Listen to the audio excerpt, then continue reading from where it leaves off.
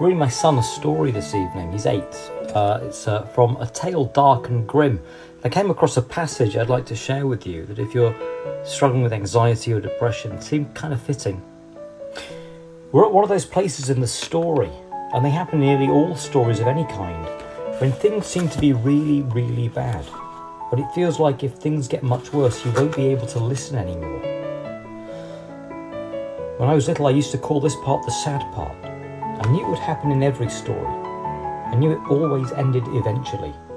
And I would repeat, this is the sad part, this is the sad part, over and over until it was done. But it didn't help.